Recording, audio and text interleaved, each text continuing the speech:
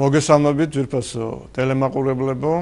ჩვენ კლავ გიწევთ ეცლოვნების სალონში. დღეს ჩვენი თემა იქნება არქეოლოგების თვალი დანახული საქართველო. მოგეხსენებათ რომ არქეოლოგია ეს არის ხიდი ჩვენს წარსულსა და თანამედროვეობას შორის. ჩვენს გადაცემაში მონაწილეობისთვის ჩვენ მოვიწვიეთ ადამიანები რომლებიც უსაზღროთ არიან შეყარებულები მეცნიერების ამ დარგზე და მე სიამოვნებით წარმოგიდგენთ მათ ბატონი იულონ გაგოშიძე, იგი გახლავთ არქეოლოგიური მემკვიდრეობის მართვის ცენტრის დირექტორი. ბატონი გივი ღამბაშიძე, კავკასიის ფონდის ხელმძღვანელი. ბატონი გურამ მირცხულავა, ეროვნული მუზეუმის უფროსი მეცნიერი თანამშრომელი და ბატონი ჯონი აფაგიძე, სოხუმის უნივერსიტეტის რექტორი. დიდი მადლობა მომბძანებისთვის ბატონებო და პირველივე კითხვა, რომელიც მე მინდა დაგისვათ, ეს გახლავთ შემდეგი. რა მნიშვნელობა აქვს არქეოლოგიას ქვეყნისთვის, ერისთვის? ერის აწყოსა და მომავლისას. ბატონო იულონი, თქვენ თქვენ თქვენგან დავიწყოთ. ადამიანის სულიერი არსებაა და ცხოველისაგან იმითი განსხვავდება ერთ-ერთი ნიშანი ის არის, რომ მან იცის ვისი შვილია, საიდან მოდის. ეს არის ბუნებრივი მოთხოვნილება ადამიანის, აი ჩადებულია მასში ამისი სურვილი. ერიც აა თავის წარსულს წარსულს აფასებს ძალიან და წარსულზე აღმოცენებული. ესა უძველესი დროიდან ეგრეა. ევროპაში მაგალითად ყველაზე დიდი ყორღანი ესე იგი სამარხი ნაგებობა და საერთოდ სამარხი ნაგებობები არის ყველაზე უფრო ესეთი მასშტაბური ნაგებობები წარსულში. რატომ? იმიტომ რომ ეუბნებიან, აი ეს ჩვენ ასეთი ვიყავით. აი ყველაზე დიდი ევროპაში არის შოტლანდის კუნძულებზე. პატარა კუნძულებია შოტლანდიის სანაპიროსთან. არქეოლოგება შეისწავლეს და გაირკვა რომ 400 წლის განმავლობაში აშენებდა 25 კაცი. მთელი მოსახლეობა ესე შრობელი მოსახლეობა იქ 25 კაცი. მაგრამ შექმნეს უზარმაზარი კოლოსალური. რატო? თავისი წარსულის საპატივცემულოდ. ისე რომ აი წარსულის წოდნა ეს ჩადებულია ჩვენში. და არქეოლოგია ემსახურება ამ წარსულის შესწავლას. აი მოკლედ პასუხი ეგაა. ბატონო გივი, მიმაჩნიებ ჩემი თავი ბედნიერად. რომ ვარ არქეოლოგი, იმიტომ რომ ჩვენ სწავლობთ მიწისქვეშა საქართველოს და ეს მიწისქვეშა საქართველო არის უკიდეგანო. ჩვენ ჩვენთვის ფაქტიურად არქეოლოგებისათვის ქართლის ცხოვრება ვის წიგნი არის ჩვენი დედამიწა, ჩვენი სამშობლო. მე რამიდა კიდევ თქვა რომ მას რასაკვირველია უდიდესი ნიშნულობა აქვს ამ დარგს ისტორიულ მეცნიერებს ამ არაჩვეულებრივ დარგს დღევანდელობისათვის. ჩვენ არქეოლოგები გარკვეულწილად ვართ შუამავლები წარსულსა და მომავალს შორის. ჩვენ ჩვენ თავს უნდა ვუჩვენოთ პირველ ყოვლისა ეს კულტურული მემკვიდრეობა და მიმაჩნია რომ იგი აი ეს კულტურული მემკვიდრეობა, ანუ მიწისქვეშა საქართველოს არის დამცველი დღევანდელი საქართველოსში და ამავე დროს არის დესპანი დანარჩენ სამყაროსთან ურთიერთობაში. აი რას გულისხმობ დაცვაში? აა იცით რა არის კულტურა ზოგადი ფილოსოფიური თვალსაზრისით და სულად რეალური პოლიტიკური თვალსაზრისით შედგება მრავალი კომპონენტისაგან და მე მიმაჩნია რომ იარაღზე თუ თავდაცვის საშუალებებს როგორც წარმოგვიდგენია შეერაგების თვალსაზრისით კულტურას უფრო მეტი ძალა აქვს დაიცვას ერი დაიცვას ის კულტურული და ისტორიული გარემო რომელშიც ერი ყალიბდება ათასწლეულების განმავლობაში. თქვა დღევანდელი გადასახედიდან თუ ვიტყვით ტურიზმის განვითარება, რომელიც ესე მნიშვნელოვანი არის დღევანდელი საქართველოსთვის და ყველა ძველი ქვეყნისათვის, სადაც სადაც კი ძველი კულტურები თუ ცივილიზაციები არსებობდნენ, რომ სწორედ აი ამ დანარჩენ სოფლიოს ეს აინტერესებს. გარდა თქვა ლამაზი ბუნებისა, მთებისა, მყინვარებისა, დინარეებისა, ტბებისა თუ ზღვებისა აინტერესებს ეს კულტურული მემკვიდრეობა. ბატონო გურამ, თქვენ რას გვეტყვით? მე ესე შევხედავდი ამ საკითხს რომ მასადამე კავკასია და კერძოდ საქართველოს უძველესი ადამიანების განსახლების ერთ-ერთი პირველი კერა. ამავე დროს კავკასიაში ძალიან საინტერესო პროცესები მიმდინარეობდა. ეს გზაჯვარედინი არის კავკასია და ის ამ ხრივ დღევანდელობასაც ეხმიანება გაჯვარედინია როგორც ჩრდილოეთ სამხრეთით ისე აღმოსავლეთ დასავლეთით და აი ამ წინააზიური ცივილიზაციებთან კონტაქტის კონტაქტით რომელიც კავკასიას შემდეგ გახონდა უფრო სხვა ქვეყნებში, ამავე დროს ის ყოველთვის ინარჩუნებდა თავის საკუთარ იერსახეს და ამიტომ ვარაუდობენ კვლევარები, რომ აქ წარმოიშვა ის ეთნიკური ერთობები, რომლებისგანაც შემდეგ ჩამოყალიბდნენ ეს კავკასიის მკვიდრი ხალხები და აი ამ საკითხის კვლევას რასაკვირველია ძალიან დიდი მნიშვნელობა. იყო არქეოლოგიას უაღრესად დიდი მნიშვნელობა აქვს თანამედროვეებისათვის. არის გამოკვლევები როგორც ჩვენს ქვეყანაში, ისე საზღვარგარეთ არქეოლოგია და თანამედროვეობა, არქეოლოგია და გარემო, აი როგორი იყო ეკოლოგიური გარემო, აი თანამედროვეობა რა, მაგალითად ანაკლიის დიხაგუძუბას გათხრება ჩვენ გვანახა თუ რა რომელსაც აკაკი ჭანტურია თხრიდა თავის დროზე და ბორის კუფტინის კი ამ მასალების სპეციალურად შეესწავლა არქეოლოგმა არქეოლოგმა რომ აი აღმოჩნდა მარცვლეულები მაგალითად როგორიცაა მახა დიკა ამი ჩვენ ვიცით რომ იმ დროს აი ამ გარემოში ამ გეოგრაფიულ გარემოში ხდებოდა მარცვლების მოყვანა. რო ავიღოთ ნოსირის გათხრები ახლა მე ამ შემთხვევაში ვილაპარაკობ კოლხეთზე იქ ქვედაფენაში აღმოჩენილი არის ბატონელ გუჯა გოგაჯის მიერ ყურძნის წიბწები საერთოდ აი როდის იწყება მევენახეობა საქართველოს ერთი სიყვით არქეოლოგია ძალიან მნიშვნელოვანი დარგია. ამიტომაც მას თელ სოფლიოში განსაკუთრებული ყურადღება ექცევა. ეს დარგი წამოწეულია ყველგან წინ. ჩვენ მოვიძიეთ ის მასალები რომელიც ასახავს დამოკიდებულებას სხვადასხვა ქვეყნის დამოკიდებულებას თავიანთი არქეოლოგიის მიმართ. აი ჩვენ ჩვენზე მაგალითად ძალიან დიდი შაბეჭდილება მოახდინა ამერიკულმა მაგალითად. ამერიკის შეერთებულ შტატებში ყოველ შტატს აქვს თავისი ოფისი, რომელსაც ეწოდება ისტორიული მემკვიდრეობის დაცვის ოფისი, სადაც არიან არქეოლოგები. ანუ ყოველი შტატის დონეზეც კი მიდის ძალიან სერიოზული კვლევა. არქეოლოგები არიან არა მარტო წმინდათ ისტორიულ არქეოლოგიურ სტრუქტურებში, არამედ ისეთ ისეთ სტრუქტურები, როგორც რომლებიც დაკავებულია გზების ჩვენებლობით, რაღაც მელიორაციის საკითხებით კიდევ სხვა აი სატყეო მეურნეობაში ანუ როგორ ჩანს სადაც რაიმე პატარა ნიუტი გამოჩდება იმ წუთშივე იქ უნდა იყოს არქეოლოგი და იმ წუთშივე არქეოლოგმა თავისი საექსპერტო და დასკვნა უნდა წარმოადგინოს. აი ეს არის ჩემთვის ძალიან მნიშვნელოვანი და გარდა ამისა აი ამ ცნობაში რომელიც ჩვენ მოვიძიეთ ინტერნეტში იყო ნათქვამი იმის თაობაზე, რომ ამერიკის მთავრობა ძალიან ზრუნავს იმაზე, რომ არქეოლოგები იყვნენ დასაქმებულები და ახალგაზრდა არქეოლოგები დაინტერესდნენ აი ამ მიმართულებით. ჩვენ ვიცით, რომ თქვენ გერმანიაში მუშაობდით რამოდენიმე წლის მანძილზე. აი გერმანიის სახელმწიფოს დამოკიდებულება როგორ არის არქეოლოგიის მიმართ? დიდი მადლობა ამ შეკითხვისათვის. სავსების სწორად ბზანე თქვენ რომ ამერიკაში განსაკუთრებული ყურადღება ექცევა არქეოლოგიას, იდება უზარმაზარი თანხები.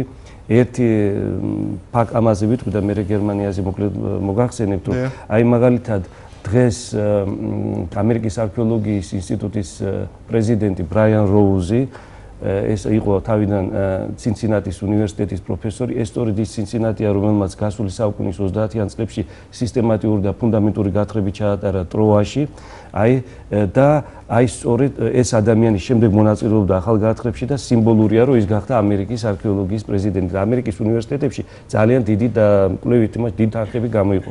რაც შეეხება გერმანიას, ეს ესე იგი ამერიკის შეერთებული შტატები, გერმანია, საფრანგეთი, ინგლისი, მაგრამ განსაკუთრებით ჩემი აზრით ალბათ ამერიკის შეერთებული შტატები და გერმანია, ეს ის ქვეყნებია, სადაც სრულიად ესე განსაკუთრებული ყურადღება ექცევა აი მეცნიერების ამ დარგის განვითარებას. მაგალითად, ცნობილია, რომ გერმანიის არქეოლოგიის ინსტიტუტს, რომელიც ძალიან მნიშვნელოვანი არქეოლოგიური ინსტიტუციაა მთელ მსოფლიოში და რომელსაც საქართველოსთანაც ძალიან მჭიდრო კონტაქტები აქვს, ვის აწარმოებს მთელ ევრაზიის კონტინენტზე გათხრებს, დიდი დაფინანსება აქვს მას აფინანსებს გერმანიის საგარეო საქმეთა სამინისტრო მას აფინანსებს ასე ვთქვათ მილიონერები მას აფინანსებს ესე იგი სხვა სხვადასხვა ინსტიტუციებიდან ფინანსდება გერმანიის ყველა უნივერსიტეტში.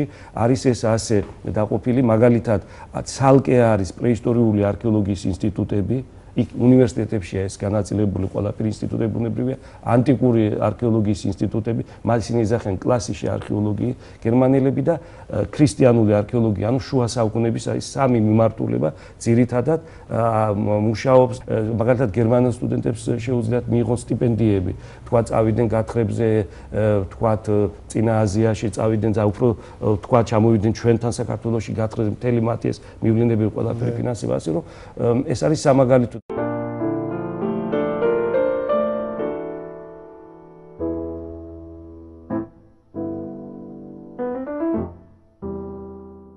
თქვენ ქრისტიანული არქეოლოგია ახსენეთ და არქეოლოგიას დამეთანხმებით ძალიან დიდი წვლილი მიუძღვის საქართველოს ქრისტიანული ისტორიის კვლევის თვალსაზრისით. აი ქრისტიანული არქეოლოგია რამდენად არის ჩვენთან განვითარებული საქართველოში, რამდენად საინტერესო მასალას იძლევა ის იმისათვის, რომ ჩვენ აღვადგინოთ ქრისტიანობის ისტორია საქართველოში. ქრისტიანული არქეოლოგია ზოგადად შეიძლება ვთქვათ, ეგ არქეოლოგიის როგორც მეცნიერების დაბადება გარკვეული თვალსაზრისით ბიბლიურ არქეოლოგიასთან არის დაკავშირებული, ესე უფრო სწორი ექნება რო ვთქვათ. აი ვულიმ რო დაიწყო მაგალითად ურში, ურში გათხრები დაიწყო იმიტომ ეს გათხრები რომ მას სწამდა ბიბლიისა და იცოდა რომ ეს ურიდან მოვიდა ეს ცივილიზაცია. პირველი ქრისტიანული თემები პირველივე საუკუნიდან გამოჩნდა და ეს აჩვენა არქეოლოგია. როგორ აჩვენა? ესე იგი დამარხვის წესი იცვლება. ეს ერთი. მეორე, სამარხებში ჩდება ისეთი ნივთები, რომელიც ქრისტიანობას შეიძლება დაუკავშირდეს. აი დამარხვის წესის შეცვლაში რას გულისხმობ? აი რა მანამდე ყველა მარქეოლებმა კარგად ვიცით, რომ ძირითადი პოზა მიცვალებულისა საქართველოს იყო გვერდზე ხელფეხ მოკეცილია, გვერდზე ან მარჯვენა გვერდზე ან მარცხენა გვერდზე აცვენდნენ. აი პირველი საუკუნის შემდეგ ჩნდება განსხვავებული დაკრძალვის წესი. ზურგზე გაშოტილი აი როგორც უკვე დღეს რო მარხავ თავით დასავლეთ და თავით თავით დასავლეთ აღმოსავლეთ უყურებდეს ქრისტიანული წესია. ეს ერთ-ერთი ნიშანი მაგრამ არა ერთადერთი და არა გამსაზღვრელი. შეიძლება გასუტილი დაკრძალული იყოს მაგრამ არ იყოს ქრისტიანი. ეს ერთი. არის სიმბოლოები ქრისტიანული. ადრე ადრე ადრეული ქრისტიანობა ფარული ქრისტიანობა იყო რომის იმპერიაში მას დევნიდნენ. ამიტომ ქრისტიანს რო ერთმანეთი ეცნო მათ ქონდათ სიმბოლოები აი ეს რამდე სიმბოლოების თელი რიგი ესე იგი საგანგებოდ შესწავლილია სიმბოლოები. აი მაგალითად გამოსახულება იყო თქვათ იმისი თევზის. თევზის. თევზის გამოსახულება. ნუ ესაც ცნობილია რომ თევზი იესო ქრისტეს სიმბოლოა მის სახელის გამო. არის ღუზის გამოსახულება და არის კიბე. ზეცისკენ ზეცისკენ აღმართული ფარშევანგი. ვიტო ჯრევიც ჯვარი ანუ არქეოლოგიური მასალა გვეხმარება ჩვენ რომ დავადასტუროთ ბევრი წერილობითი წყარო. აი მე მაგალითად მახსოვს აწყურში რო იყო გათხრები. დიახ. ანდრიას მიმოსვლის ზოგიერთი დეტალის დეტალის დადასტურება მოხდა აი ბატონ ვახტანგ გიჩელი საუბრობდა ამის საუბაზე და ძალიან საინტერესო თანხმედრები იყო. ასე რომ თანდათანობით აი რაღაცნაირად თითქოს აი მათაც დავიწყებ პირდაპირ და გადატანითი მნიშვნელობითაც დავიწყების წერი ეცლება ხოლმე ჩვენს ისტორიას და მათ შორის ქრისტიანული პერიოდის. ხო, როდესაც, როდესაც თქვა წერილობითი წყაროს მონაცემები და არქეოლოგიური მონაცემები ერთმანეთს ეთანხმება, მაშინ შეიძლება უკვე დარწმუნებით საუბარი რომ ეს არის ჭეშმარიტება. და ქრისტიანული არქეოლოგია გრძელდება. ჯერა ჩვენ, მაგრამ სკეპტიკოსებისთვის არის ჭეშმარიტება. აი ნიუთონზე თქვენ რომ ბძანეთ ქრისტიანული სამარხები როცა შემოდის ის წინამავალი წარმართulis სამარხებისგან ალბათ იმითაც განსხვავდება რომ თუ ის იქ სიმდიდრეს ატანენ ოქროს ვერცხლის ქრისტიანული სამარხები არის ღარიბი ეს არ იყო ქრისტიანული არ არის დამახასიათებელი უკვე ადრე საშუალო საუკუნეებიდან ქრისტიანული წესი რომ არ ატანდნენ ძვირფას ნივთებს ქრისტიანებს იმიტომ რომ ეს არ იყო ასე თქვა ცალკეული გამონაკლისები გამონაკლისები არის იმიტომ რომ იმ ქვეყნიური ცხოვრებისთვის ეს საჭირო ანუ სხვა ფსიქოლოგია აქვს უკვე სხვა დამოკიდებულება იმ ქვეყნიურ სამყაროსთან ქრისტიანს და ეს აისახება მის სამყაროს აი ბატონო გივი თქვენ ქრისტიანულ არქეოლოგიასთან დიდი კავშირი გაქვთ და არა მარტო საქართველოს ტერიტორია საქართველოს ტერიტორიის გარეთაც. ეს განსაკუთრებულად მნიშვნელოვანია, იმიტომ რომ დღეს ის რეგიონები, სადაც თქვენ გათხრებს აწარმოებდით, დღეს აღარ არის ქრისტიანულ სამყაროს შემადგენელი ნაწილი, მაგრამ ოდესღაც იქ იყო საკმაოდ საინტერესო და ძველი ქრისტიანული კულტურა. ჩვენ გულისხმობთ ჩილო კავკასიას. და თქვენ წლების მანძილზე იქ იკვლევდით იქაურ ქრისტიანულ კულტურას და მათ კავშირს საქართველოსთან. ერთ-ერთი ინგლისელი კარგი მწერალი ქალბატონი ბძანებს რომ არქეოლოგია ყველაზე თანამედროვე პოლიტიკური მეცნიერება არისო. თქვენ ბძანებთ აი ჩილო კავკასიის ჩვენ მეზობლად არსებული ჩვენი მოძმეთა ისტორია ქრისტიანული პერიოდის ახსენეთ და უნდა ითქვას რომ ეს საკითხი უკვე მე-19 საუკუნიდან რაღაც გარკვეული ინტერესის ქვეშ ექცევა უცხოელი მოგზაურების, მეცნიერების, მათ შორის ქართველი დიდებული ისტორიკოსებიც ერთვიან ამ საქმეში და აი ამ დაახლოებით საუკუნე ნახევრის განმავლობაში უამრავი რამ წარმოჩნდა ჩილოკავკასიურ სივრცეში. ქრისტიანობის აი კულტურის დასტურებელი და უნდა ითქვას, რომ მას რასაკვირველია მე ინგლისელ მწერლს ვეთანხმები ძალიან დიდი პოლიტიკური მნიშვნელობა აქვს ამ თვალსაზრისით. ეხლა რა მაქვს მე მხედველობაში? მთელი ეს სივრცე, იმიერკავკასიური სივრცე მოფენილი არის ქრისტიანული კულტურის ნიშნებით. ეს არის ეკლესიები, ტაძრები. თქვენ წარმოიდგინეთ სამონასტრო ცხოვრებაც დასტურდება გარკვეულ სივრცეში. მაგალითად, ინგუშეთის ტერიტორიაზე იქ არის მრავალი ძეგლი და ერთ-ერთს ვახსენებ, რომელიც მე 1979-70 წლებში შევისწავლეთ არქეოლოგიურად ყობერტის ტაძარი წმინდა თომას სახელობაზე არის კვირაცხოველბაზე აშენებული და თვითონ ეს ხომ სამეკლესიანი ბაზილიკა უამრავი ქართული წარწერით, მათ შორის მელქისედეკ პირველის წარწერი. შანიშნავი არქიტექტურით. არქიტექტურით, როგორი ბარელიეფებია, გიორგი ეპისკოპოსის სამი წარწერით, არსენ კათალიკოსის 955-980 წლებში იყო მცხეთის კათალიკოსი. ესე იგი, მე რამდა გითხრათ, რომ აი ეს ყველაფერი ერთობლიობაში, მაგრამ არქეოლოგიური გათხრების, რომელიც თანსდებდა სარესტავრაციო სამუშაოებს, წარმოშთა ხუთი აკლდამა. აი ამ უშელებელი სამეკლესიანი ბაზილიკის გარშემო და საინტერესო ის არის, რომ იქ არიან დასაფლავებული ადგილობრივი მაცხოვრებლები. მე რამე და რა ეპოქაში გარდაცვლილი? აი გარდაცვლილი ეს გახლავთ, აი მე ვათარიეკო პირადად მე-10 საუკუნის მეორე ნახევრით, მე-11 საუკუნის დაახლოებით ნახევრამდე. ასე არის ქართულ თიანეთში სხვათა შორის.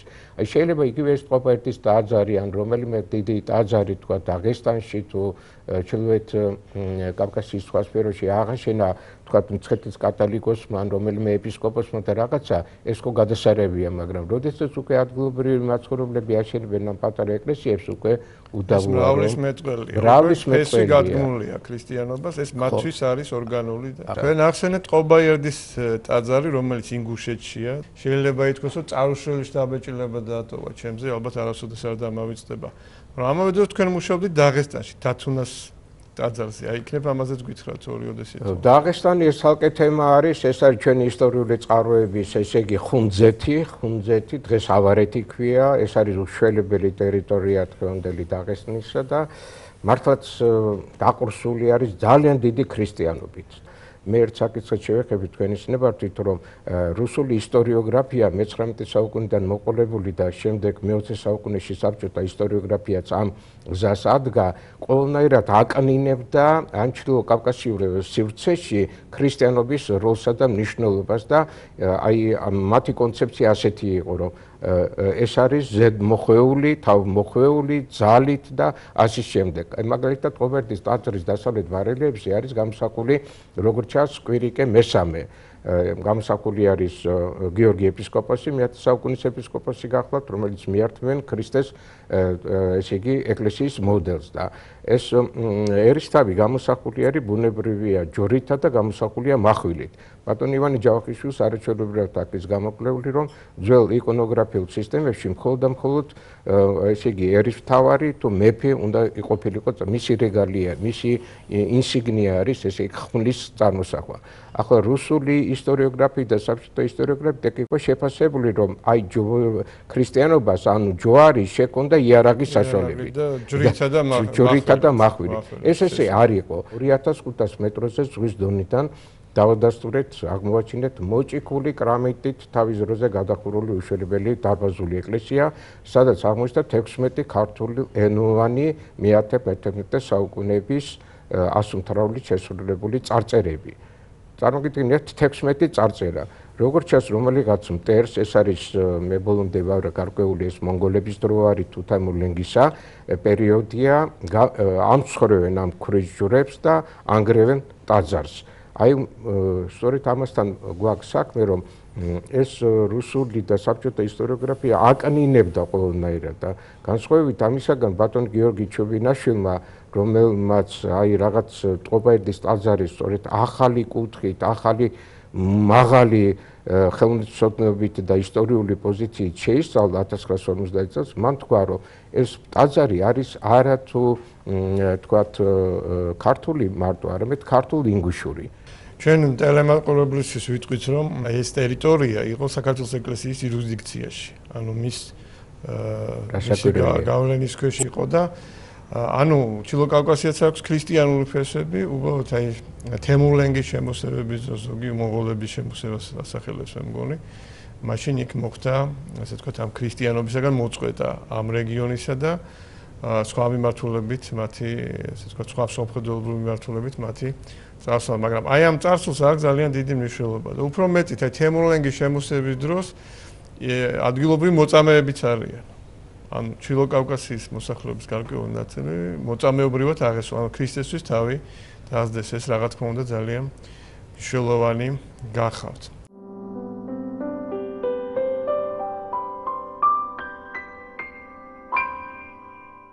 ხომ მე მინდა აი ესეთ საკითხს დაუბრუნდე. აი რამდენად ჩვენი ახალგაზრდობა დაინტერესებული არქეოლოგიით, რამდენად აი მათ აქვთ ინტერესი არქეოლოგიის მიმართ. არქეოლოგია მაინც ვითარდება ის იქ, სადაც დაფინანსება არსებობს, სადაც ამისი შესაძლებლობა არის, ეკონომიკური შესაძლებლობა. იგი ქვეყანა ეკონომიკურად უნდა ძლიერი იყოს, რომ არქეოლოგია სათანადოდ განვითარდეს. ეს ერთი მხარე. ამასთან დაკავშირებულია სწორედ აი ახალგაზრდობის ამბავი. გაჩნდა წყვეტილი. არის აი უფროსი თაობის არქეოლოგები და მომდევნო თაობა ჩამოგვჭა. ეს გრძელდებოდა 12 წელიწადი მოგეხსენებათ და ეხლა აი ეხლა იცვლება სიტუაცია. ახლა უნივერსიტეტებში გამოვიდა ახალგაზრდობა უკვე სიამოვნებით მიდიან, აბარებენ კონკურსია და კარგი ბავშვები გამოჩნდნენ, მაგრამ ჩვენ შორის არის წვეტილი უკვე. ესე იგი ერთი ერთ თითქმის ერთ თაობა გამოვტოვეთ. მაგრამ აი იმედი უკვე გაჩნდა. ახალ ახალგაზრდობა ისევ წამოვიდა. და აი არქეოლოგია შეუძლია თავის თავი თვითონ შეინახოს ჩვენი თანა ქვეყანაში. ჩვენ ვართ სრულიად განსაკუთრებულ სიტუაციაში საქართველოს. საქართველოს არის წინა აზიის ნაწილი. აი მე ალბათ ამაზეც ვისაუბრებ დღეს. ცივილიზაცია, სოფლიო ცივილიზაცია აქ დაიბადა. ასე რომ ეს არქეოლოგია საინტერესოა არა მარტო ქართველებისთვის, როგორც ჩვენი წინაპრების ნაკვალევი, არამედ ევროპელებისთვისაც, ამერიკელებისთვისაც, იმათი წინაპრების აქედან საზრდოობენ. ესე იგი ჩვენ ნიშა გვაქვს, რომელიც უნდა დავიკავოთ დროზე. უნდა გამოვიყენოთ. უნდა გამოვიყენოთ, რომ მოვიზიდოთ უცხოური კაპიტალი, რომ მოვიდნენ და აქ იმუშაოთ. ბოლო წლების განმავლობაში, აი 92 წლის შემდეგ, მართლა ახსენა ბატონმა ჯონიმ, უცხოელები მუშაობდნენ სულ აქ. და მათი მათთან ვიყავით ჩვენ უფროსი თაობის ხალხი, იმიტომ რომ ჩვენ იმათ ვჭირდებოდით. ბატონი ჯონი არის უმაღლესი სასწავლებლების ხელმძღვანელი და უშუალო შეხება აქვს სტუდენტებთან. მე ვიცი რომ თქვენს უნივერსიტეტში ისწავლება არქეოლოგია და სტუდენტები სწავლობენ. აი თქვენ რას გვეტყვით? ახალგაზრდების დამოკიდებულებაზე. მე მინდა დავითანხმო ბატონი ულონს, რომ მართლა აი სიტუაცია უკანასკნელი წლების განმავლობაში დამოკიდებულება ახალგაზრდების იცვლება. ამ შემთხვევაში თქვენ ისნებართ ეს ზოგადად იცვლება არა მარტო სოხუმის სახელმწიფო უნივერსიტეტში, ამ თქვათ რომელიმე ერთ აღებულ უნივერსიტეტში ზოგადად იცვლება საქართველოსი უკეთესობისაკენ. ეხლა რა მაქვს ხედველობაში? აი იყო პერიოდი, როცა სტუდენტები ისტორიული მეცნიერების მიმართ, არქეოლოგიის მიმართ თუ საბუნებისმეტყველო დარგების მიმართ შეიძლება ცოტა აი ესეთ გულგრილობას იჩენდნენ, მაგრამ დღეს უკვე მოდიან სტუდენტები ყოველგვარი გადაჭარბების გარეშე მინდა ვთქვა საკმაოდ ესე იგი დიდი რაოდენობით თუ შეიძლება ადამიანებზე ასე ითქვას იჩენენ ძალიან დიდ ინტერესს შარშან არქეოლოგიურ გათხრებზე ჩვენ ქონდა დაგეგმილი სტუდენტებისთვის და საოცარია რომ ძალიან ბევრი ქალიშვილი უნდა რომ არქეოლოგია აერჩიოს თუმცა ვაჟების საკმაოდ არიან და როცა უთავდებოდათ ვადა და როცა უნდა წასულიყო სახში და ასე ვთქვათ როტაცია უნდა მოყიდე ვითხოვდნენ რომ კიდე დაგტოვეთ რამდენიმე დღეს თუ შეთ ახლა ჩვენ ტელემაყურებელს შევთავაზოთ სიუჟეტი რომელიც მოგიმზადდა ჩვენმა ჟურნალისტმა სალომე სოფიშვილმა იგი შეხვდა ახალგაზრდა არქეოლოგებს, სტუდენტებს და აი ისინი თვითონ ისაუბრებენ იმის შესახებ, თუ რა დამოკიდებულება აქვთ მათ ახალარჩეული პროფესიის მიმართ.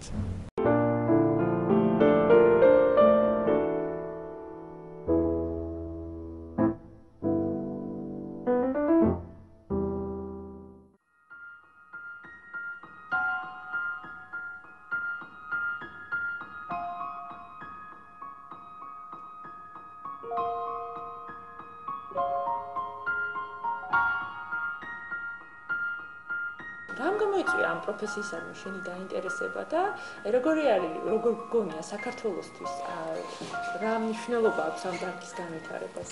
ჩემი დაინტერესება გამოიწვია ზოგადად საქართველოს ისტორიიდან გამომდინარე, იმიტომ რომ სკოლაში არ ქონია არქეოლოგიასთან ისეთი უშუალო შეხება და მაინტერესებდა ძალიან საქართველოს ისტორია და აქედან გამომდინარე გადავწყვიტე რომ ჩამიბარებინა და ვცდილობ რომ ძალიან გულდასვით მოვეკიდო ამ საქმეს და საინტერესო მართლაც ამ საინტერესო. იყო პერიოდი, როდესაც არავის არ აინტერესებდა ეს სფერო, მაგრამ იგივე ჩვენი ჩარიცხვის შემდეგ უფრო და უფრო იმატებს დაინტერესებული და შესაბამისად სტუდენტების რიცხვი იმატებს ყოველწლიურად. სკოლის ასაკიდანვე დავდიოდი წლებზე, სადაც არქეოლოგიის შესახებ იყო მოხსენებები და იქიდან ინტერესი უფრო გაიზარდა ჩემმა. საქართველოს ფიქრობ, გამორჩეული ქვეყანა არის ცივილიზაციის კუთხით, აქ არის წარმოდი ყველა ის პერიოდი, რაც ადამიანმა უხსოვარი დროიდან ჩვენთან გაიარა. ჩვენმა თაობამ უნდა შეძლოს ის, რომ წინ წამოსწიოს არქეოლოგიის საკითხი, რომ უფრო პოპულარული გახდეს. პირადად მე ძალიან დიდ პოპულარიზაციას უწევ, იმიტომ რომ იმდენად მიყვარს, სადაც არ უნდა მოხდე როგორც რანაირად მეგობრებიც მასს ხუმრობთ, რომ სულ არქეოლოგიაზე ვსაუბრობთ და სულ არქეოლოგია, არქეოლოგია და ჩემი მეგობრების ამასომი აღარ გვინდა შენი არქეოლოგია. იმდენად მიყვარს, რომ მინდა რომ სხვასაც გადავდო ჩემი ეს სიყვარული.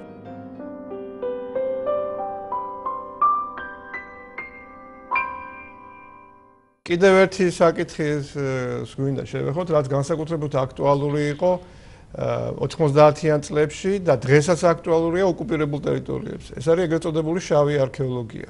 ჩვენ ვიცით, რომ იქ უკანონო გათხრები მიმდინარეობს. ბატონო ჯონი, თქვენ ალბათ საქმის კურსში ხარ, ბატონო იოლანდე, იქ პერიოდი სიტყვა ამაზეც გითხრათ. მოგახსენებთ, ესე იგი შავი არქეოლოგია ეს ზოგადად არის ძალიან დიდი პრობლემა სოფლიო არქეოლოგიისათვის და თემ სოფლიოში არქეოლოგებისათვის, იმიტომ რომ სიმდიდრის მოყვარულები, აი ეს მაძიებელნი სიმდიდრის აი ისტორიულად ცნობილი არიან და მათ ძალიან ცუდი როლი ითამაშეს ზოგადად. ჯერ კიდევ ესე იგი ეს იყო აი დაახლოებით 10 წლის წინ, როცა საქართველოს არქეოლოგიური კომისია შეიკრიბა და პროტესტი გამოთქვა იმ არქეოლოგიურ გათხრებთან დაკავშირებით, რასაც აი თქვენ ესწრებოდით ყოველ არქეოლოგიურ კომისიის სტუმას და გახსოვთ, რომ სწორედ ამაზე იყო მსჯელება, რომ აფხაზეთში მიმდინარეობს უკანონო არქეოლოგიური გათხრები, მაშინ ეს ჯერ კიდევ ეგრეთ წოდებული აღიარება არ იყო მომხდარი აფხაზეთის და მაშინ ეს იგი დაიწერა წერილი არქეოლოგიურ კომისიამ გამოთქვა პროტესტი, რომ ის არქეოლოგიური გათხრები, რომელსაც რუსი არქეოლოგები ქართულ არქეოლოგებთან, ანუ საქართველოს არქეოლოგიურ კომისიასთან შეუთანხმლად აწარმოებდნენ, აი ეს ძალიან ცუდი ნაბიჯი იყო, ეს იყო ძალიან არაკოლეგიალური. ჩვენ რა რატო ავტეხეთ მაშინ განგაში? ერთი მიზეზი იყო, რომ ჩვენ არ ვიცით ჯერ ერთი, ეს არის უკანონო გათხრები. მეორე ჩვენ არ ვიცით გათხრების რა მეთოდებს იყენებენ ჩვენი კოლეგები იქ.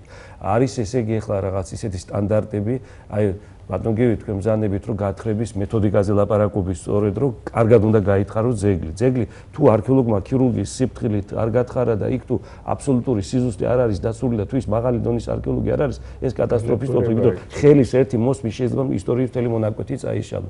შესაბამისად ჩვენ არ ვიცით გათხრების რა მეთოდების გამოყენება ხდება იქ.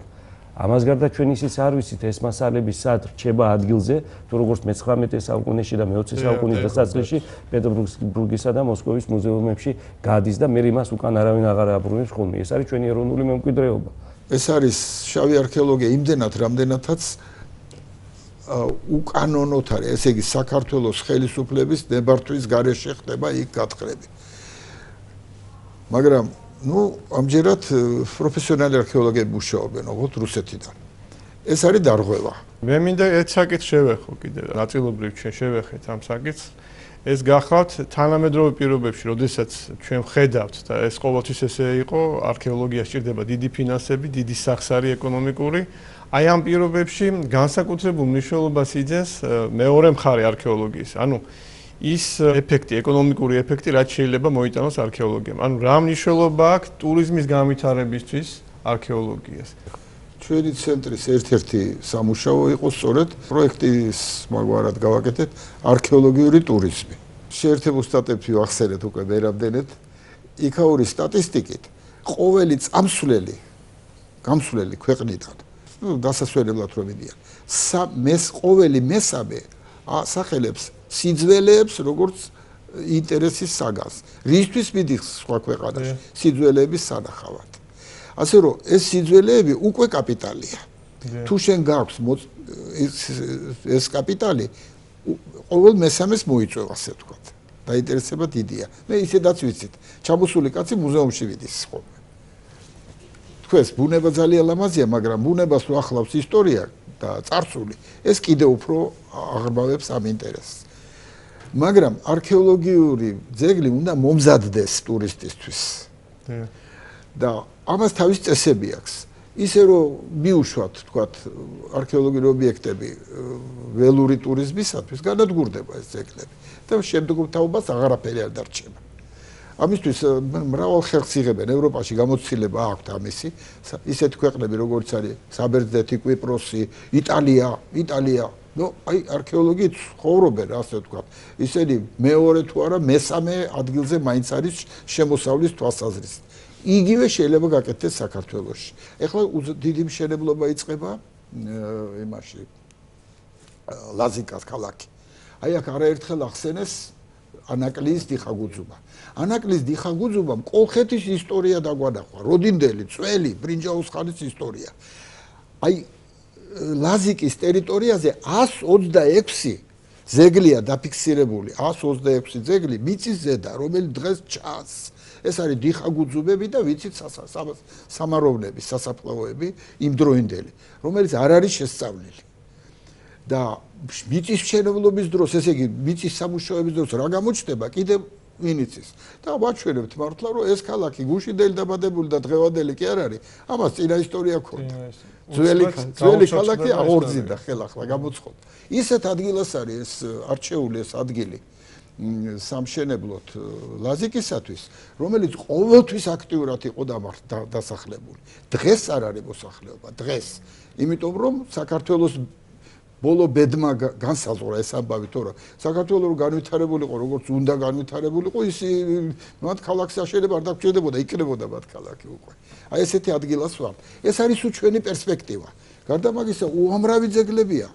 მოგეუბნებით ასეულობით ისეთ ძეგლია რომელიც ენატრება უცხოელ არქეოლოგს. და ეხლა მეორე კიდე. ფული იხარჯება. აი გათხრების შედეგად ამოღებული ნივთების მარტო საბაზრო ღირებულება როგორც წესი უფრო მეტია ხოლმე ვიდრე გათხრებში დანახარჯი გათხრების დანახარჯი და მე არქეოლოგიურ ობიექტს აქვს ერთი განსაკუთრებული თვისება. ეს როგორც კაპიტალი ესე იგი როგორც ფასეულობა არასდროს მისი ფასი არ ეცემა ყოდლიდან წლამდე ის მატულობს რაც უფრო ძველი უფრო ძვირია. 80-იანმა წლებმა წარმოშეს გააქტიურება არქეოლოგებისა და არქეოლოგიური სამუშაოების მაგრამ აქ არის მეორე მხარე.